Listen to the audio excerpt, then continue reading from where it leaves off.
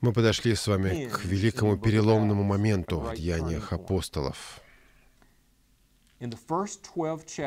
В первых 12 главах книги Деяния Петр упоминается более 50 раз.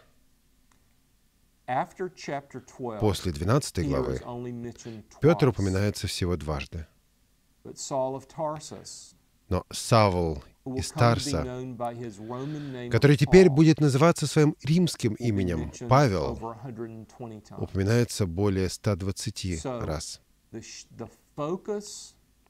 Итак, на первое место в Откровении Божьем выходит теперь не иудейская миссия, а миссия языческая.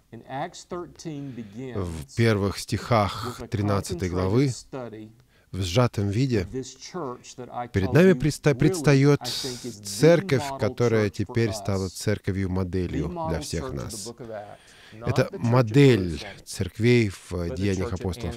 Не Иерусалимская церковь, а церковь Антиохии.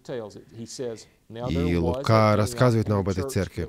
В Антиохии, в тамошней церкви, были некоторые пророки и учители.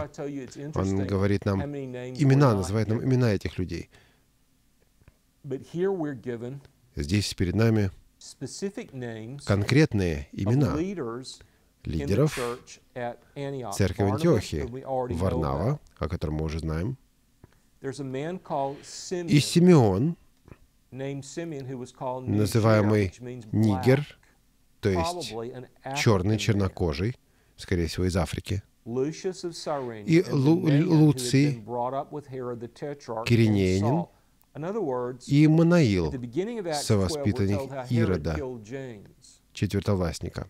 Обратите внимание, в 12 главе мы узнали о том, как Ирод убил Якова. В 13 главе сонасле... совоспитанник Ирода приходит к Иисусу Христу. Божья благодать не спасла жизнь Иакова, не сохранила физически жизнь Иакова. Однако Божья благодать спасла, сохранила человека в доме Ирода, человека по имени Манаил, совоспитанника Ирода. Вот как удивительно действует порой Божие владычество, вот как удивительно проявляется на земле Божья милость. Я бы хотел сказать несколько слов об этих людях. Они были уникальны, они были, не, они были особенными.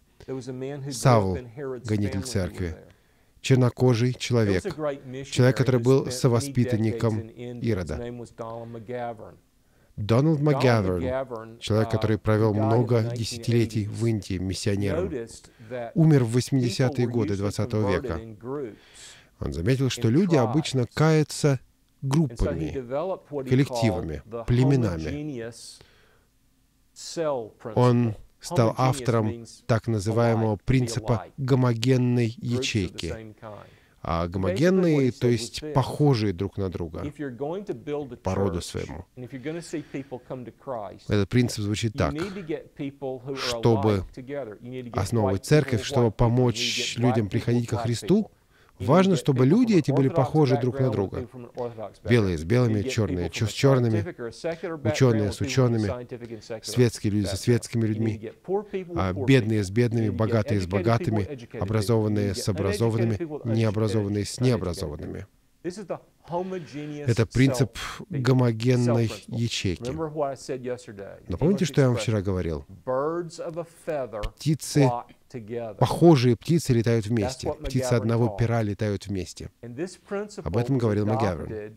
Этот принцип был принят в качестве методологии для основания церквей. Скажу об этом две вещи. Во-первых, на практике это действует. На практике это действует. Во-вторых, этот принцип не библейский. Этот принцип не библейский. Это социологический принцип. Это социологическая реальность. Однако это не, не библейская, не духовная реальность. Когда Дух Святой действительно действует, когда Дух Святой э, работает, очень разные люди научаются любить друг друга. Люди, отличающиеся друг от друга, объединяются в общину. Разные люди учатся быть членами Божьей семьи и поступать как христиане. Скажу вам вот о чем. Большинство из вас здесь люди молодые. Молодым людям. Все это гораздо интереснее, чем пожилым.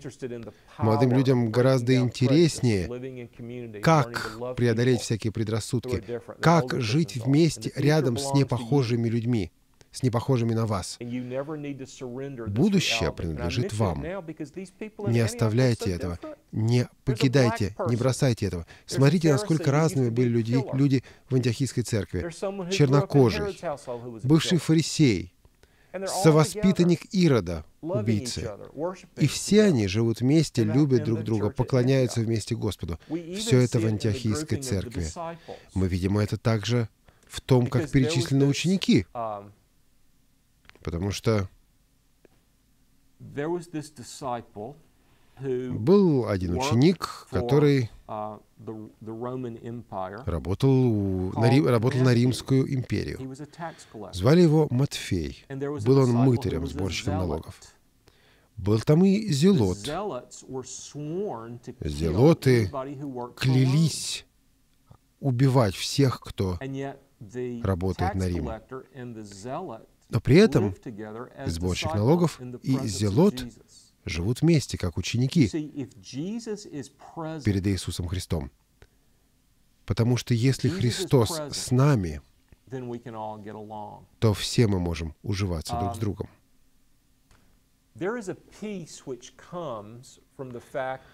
Потому что особый мир приходит, когда понимаешь, что в руках сильного меч, что в руках сильного оружия. Мир этот часто называется Пакс Романа, римский мир, мир или Пакс Британия, британский мир. У Рима была империя, имперская сила. Провинции этой империи не воевали друг с другом потому что над ними стоял Рим. Британцы, члены Британской империи, не воевали друг с другом, потому что над ними стояла империя. Британия. Была и Советская империя, понимаете? В Советском Союзе была империя. Вы не называли это империей, но фактически это была империя. И в бытность империи нации, республики не воевали друг с другом потому что ими управляли из Москвы. Такой мир приходит, когда царство, когда власти готовы убить вас, если вы начинаете друг с другом воевать. Мир же Иисуса Христа происходит от Спасителя, который был готов сам умереть за вас, чтобы вам незачем было воевать, чтобы вы научились любить друг друга, чтобы мир ваш основывался на любви, а не на силе и власти. Именно такой мир дает Христос. Именно такой мир познала Антиохийская церковь. Я сказал о том, что Антиохийская церковь стала модельной церковью, церковью примером. Каким образом? В чем именно? Ну, об одном я уже сказал. Разные люди уживались вместе, жили вместе. Одна из проблем в нашей Будапешт, Будапештской церкви заключается в том, что у нас слишком много миссионеров. Нет, это не те миссионеры, которые приезжают трудиться в Венгрии. Если в Венгрии человек трудится, пусть он и ходит в венгерскую церковь. Но у нас немало миссионеров, которые работают в других странах, в самых разных странах таких миссионеров, как я.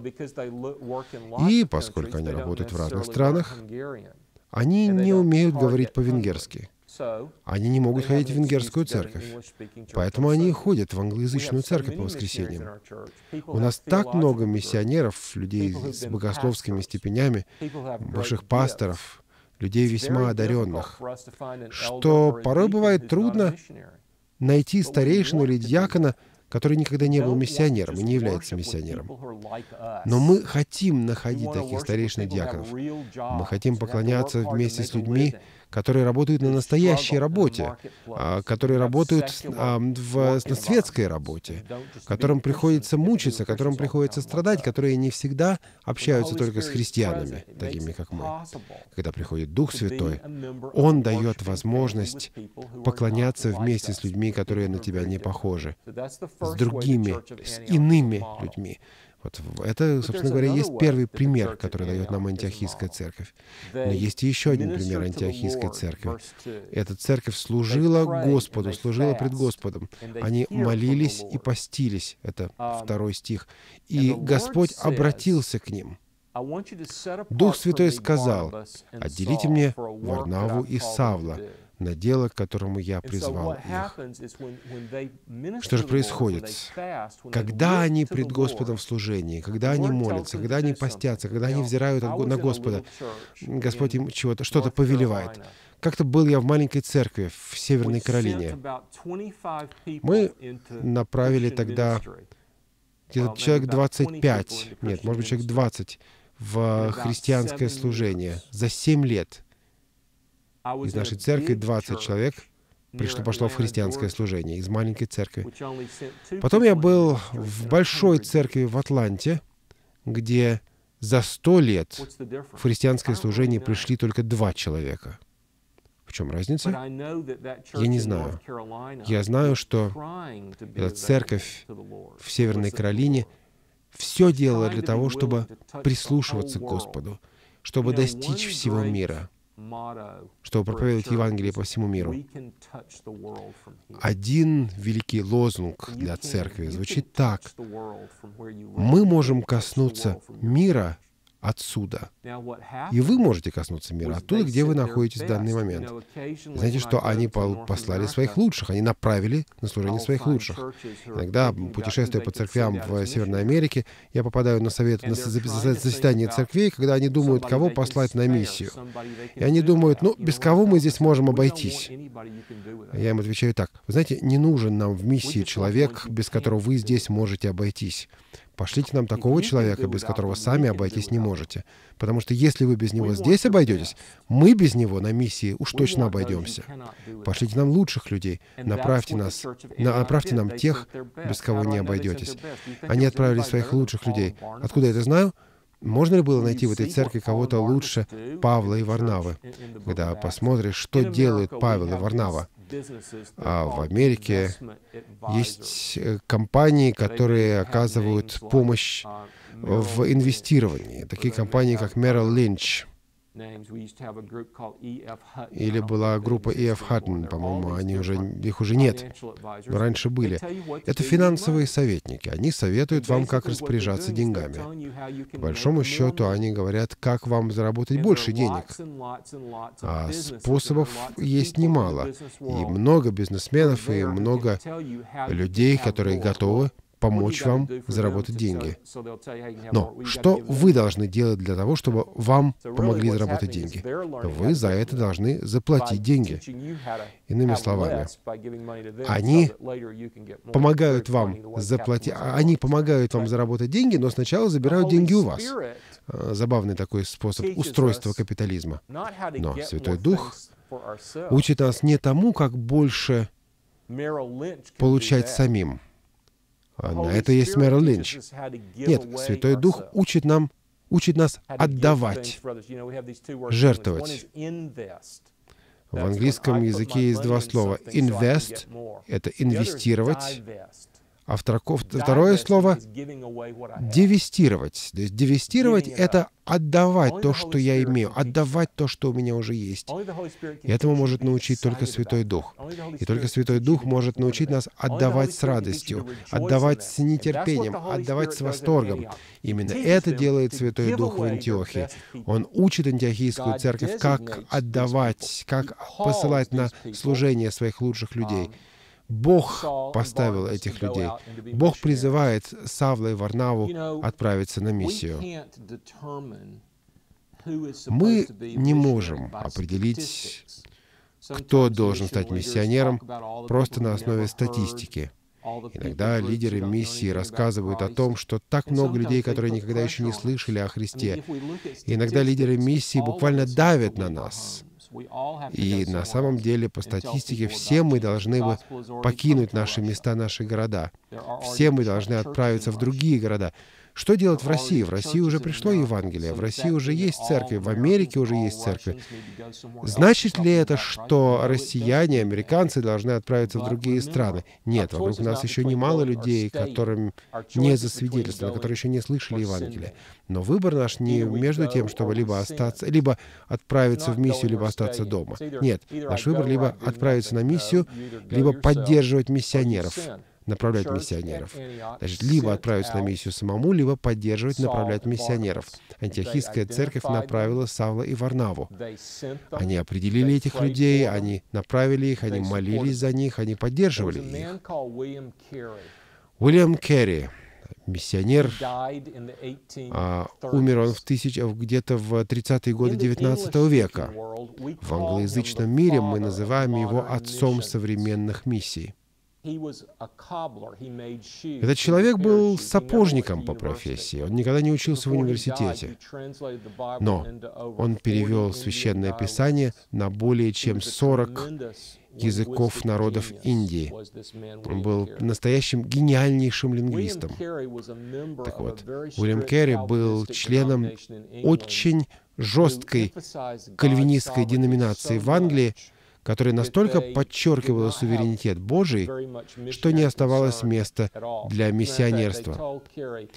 Более того, Уильяму Керри сказали, «Послушайте, Керри, когда Бог решит спасти индийцев, Он это сделает без вашей помощи без моей помощи». Керри бросил им вызов. Он сказал, «Если вы готовы держать веревку, я готов спуститься в яму». Индия была тогда как золотая сокровищница для Христа. Там были души, которые для Христа ценнее золота. Но кто-то должен был спуститься в шахту. Кто-то должен был спуститься в золотую шахту. Но в золотую шахту без веревки спуститься нельзя. Нужны помощники. Он говорит, я пойду в эту шахту, я пойду в эту яму. Только вы подержите веревку. Вы потом достанете меня за эту веревку. Подержите меня, держите один конец веревки. Я возьму другой конец веревки и спущусь туда. Если вы направите меня, я пойду, говорит он. Антиохийская церковь готова была направлять. Она готова была направить лучших своих людей и поддерживать их на миссии. Эти люди были призваны. Бог действовал, Ранее церковь действовала, сами миссионеры действовали. Одному невозможно. Невозможно без Бога, невозможно без направляющего, и невозможно без того, кто пойдет на миссию. Вот три важнейшие компоненты библейской миссии. Куда же они отправились? Сначала они отправились в Малую Асию. Они отправились в регион, соответствующий современной Турции. Что они сделали? Прежде всего, они стали приходить в синагоги, в синагоги и беседовать с иудеями, и рассказывать иудеям Евангелие.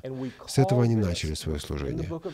В Деяниях апостолов мы называем это первым великим миссионерским путешествием апостола Павла. Отправились три человека, начинается это в 13 главе Деяний апостолов, заканчивается это, это путешествие в конце 14 главы Деяний апостолов. Отправились в это путешествие Варнава, Савл, который Павел, и их помощник Иоанн Марк. В пятом стихе мы узнаем о том, что они взяли Иоанна для служения, взяли в помощь. Я говорил вам некоторое время назад о том, что одни идут, другие их поддерживают. Вы помните, что Варнава с Кипра? Где первая остановка на миссионерском пути апостола? Кипр. Тот же самый Кипр. Четвертый стих. Варнава прежде всего идет к себе на родину. Видеосеминария ТВС – благотворительный проект. Наш общий вклад обеспечит доступное христианское образование и формирование сотен служителей по всему миру. Поддержите наш проект молитвой и финансами. О чем молиться и как пожертвовать вы можете найти на сайте www.tvseminary.com.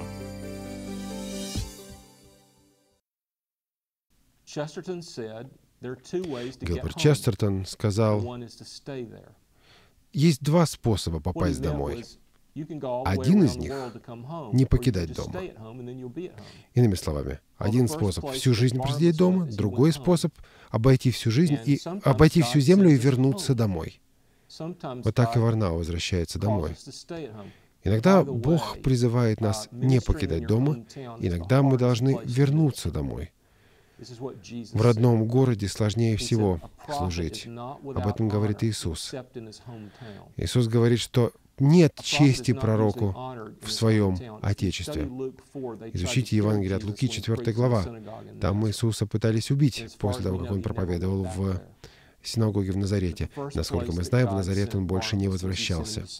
Но Бог прежде всего направил Варнаву на Кипр, домой. Пятый стих. Они взяли себе Иоанна для служения. Потом этот факт будет очень важен. Направились они в город Пав и нашли иудейского лжепророка по имени Вар Иисус. Человек этого звали Вар Иисус, что значит «сын Иисуса». Этот человек пытался а, попасть в доверие Сергию Паулу, Сергию Павлу, римскому правителю этого острова. Римский правитель стал слушать Савла um, и Варнаву. Но Волхв, лжепророк, uh, нет, извините, этот Волхв, имя которому на еврейском языке Бар Иисус, Бар Иисус, а по-гречески Елима, пророк, пытался помешать римскому правителю услышать проповедь миссионеров, проповедь Евангелия. Помните, когда Савл из Тарса получил спасение? С ним произошло отрицательное чудо, негативное чудо. Он был поражен слепотой. Это первое, что с ним произошло после его обращения. И первое чудо, которое он совершил, также было чудом негативным, чудом лишения. Потому что когда Елима стал противостоять проповеди Евангелия, Савл, обратите внимание на 9 стих, здесь изменяется его имя, но Савл, он же и Павел, это его римское имя, исполнившись Духа Святого и устремив на него взор, сказал, «О, исполненный всякого коварства и всякого злодейства, сын дьявола, враг всякой правды». Он ослепил этого человека. Этот человек больше не видел. 12 стих. Тогда проконсул, увидев происшедшее, уверовал, девясь учению Господня. Елима, бар Иисус, вернулось ли к нему зрение? Не знаю. Стал ли он христианином? Не знаю, но об этом ничего не говорится. Нам говорится только о том, что римский консул, правитель пришел к Иисусу Христу. А теперь 13 стих.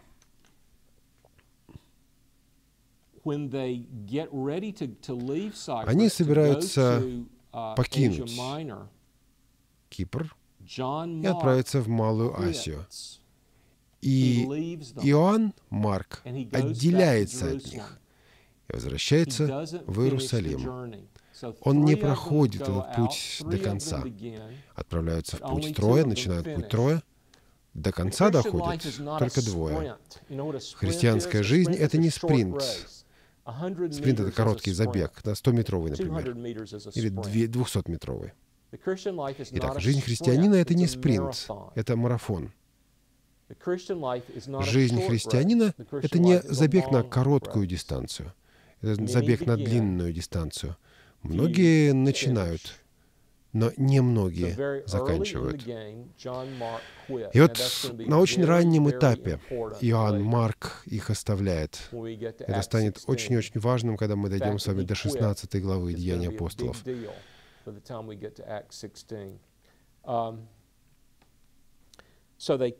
Итак, они приходят в 14 стихе в Малую, в Малую Асию, в город, который тоже называется Антиохия. Но это другая Антиохия, не та, из которой они ушли. Это Антиохия Писидийская. А, первая церковь а, или вторая христианская церковь в сирийской Антиохии. А это Писидийская Антиохия. Зачем они пришли сюда? Зачем миссионеры пришли сюда? В субботу, когда люди собрались в синагоге, миссионеры приходят в синагогу и начинают говорить людям об Иисусе Христе. Прежде всего, они, они искали людей, которые знают еврейское священное писание. Их стратегия заключалась в том, чтобы показать из священного писания, что Иисус из Назарета и есть обещанный Мессия Ветхого Завета. И вот Павел встает в синагоге и начинает проповедовать. В 16 стихе он говорит об истории Израиля, от египетских времен и далее. Он рассказывает о Сауле, первом царе, о великом царе Давиде, а потом он говорит об Иисусе. Но начинает он со служения Иоанна Крестителя, с того, как Иоанн Креститель утвердил, подтвердил, что Иисус и есть обетованный Мессия, тот, в которого следует верить. Потом он говорит о смерти Иисуса Христа. И вот это очень тяжело, очень трудно принять, потому что никто из иудеев не верил, что Мессия может умереть. Никто из иудеев не верил, не верил, что еврейского иудейского Мессию могут убить язычники. Никто из иудеев не верил, что римляне в силах убить иудейского Мессию. Можно спросить, почему Израиль отверг Иисуса? Одна из причин заключается в том, что Иисус умер. Это одна из причин, не единственная, но одна из. И Павел говорит, что хотя Иисус и был приглашен к кресту, 30 стих, Бог воскресил его из мертвых. Он в продолжении многих дней являлся людям. 32 стих. «И мы благовествуем вам, благовествуем, несем благую весть, Евангелие». Почему это благая весть? Да потому что нам не нужно самим спасаться, потому что нам не нужно заслуживать свое спасение. В чем-то эта весть, эта весть далеко не благая, потому что спасение не заработаешь, потому что грех постоянно мешает в этом. И вот это может вогнать в отчаяние. Но помните, что Евангелие сначала ранит и говорит нам о том, что наша самоправедность а, неугодно, неприемлемо перед Богом. Но Евангелие также исцеляет. Бог послал праведника, чтобы умереть за нас, чтобы а, принять наше наказание, чтобы воздать нам награду, которую заслуживает Он и только Он. Кто-то сделал это для нас, кто-то сделал это за нас, кто-то заслужил спасение, которое не могли мы никак заслужить. Кто-то прожил жизнь, жизнь праведности, которую мы не могли прожить. Кто-то принял смерть в наказание за неправедных преступников для того, чтобы нам, неправедным преступникам, даровать жизнь. Он прожил жизнь, которую мы не могли прожить. Он принял смерть, которую нам не надо больше на себя принимать. И теперь мы принимаем награду за Его праведность, принимаем награду за Его послушание. Это и есть Евангелие, это и есть благая весть. Именно это проповедует Павел и Варнава, обращаясь к иудеям в Антиохии Писидийской, в синагоге. Именно так исполнилось обетование. В 35 стихе он цитирует 15-й псалом. Это псалом о воскресении. Он применяет это обещание к Иисусу Христу. Так и Давид говорит, Давид говорит о Христе. А вот что самое сложное. 39 стих.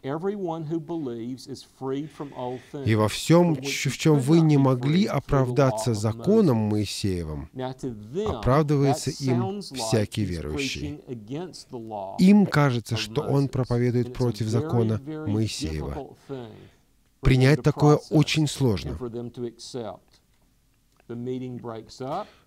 Богослужение заканчивается, люди расходятся, а Павел, Варнава продолжают наставлять людей пребывать в Божьей благодати. 44 стих. В следующую субботу почти весь город собрался слушать Слово Божие. Слишком много было, очень много было людей. Но иудеи, увидев народ, исполнились зависти и противоречия и злословия, сопротивлялись тому, что говорил Павел. И затем Павел объявляет им в 47 стихе, «Ибо так заповедал нам Господь, «Я положил тебя во свет язычникам». Это не новое слово, это слово пророка Исаия. Язычники, слыша это, радовались и прославляли Слово Господне. Евреи же, иудеи, стали противостоять апостолам. 50 стих. И апостолам пришлось уйти. Они приходят в Иконию. Икония — это сейчас большой город в Турции, Кония. В Истамбуле вы увидите указатель в сторону Кония. Это и есть бывший, бывшая Икония в Турции. Это конец 13 главы.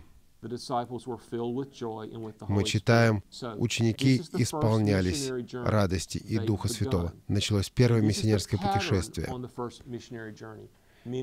Так и, и всегда. Многие радуются, многие веруют, многие противостоят, многие преследуют. Кстати, если вы верный христианин, если вы говорите миру Евангелие, так будет и с вами. Многие возрадуются, будут утешать вас, будут поздравлять вас, будут ободрять вас. Многие же будут противостоять вам и гнать вас. Так было со Христом. Так будет и с вами, если проповедуете Евангелие. Не говорите, что я вас не предупреждал. Так было всегда и с Иисусом, так было с апостолами в деяниях, так и сегодня с миссионерами.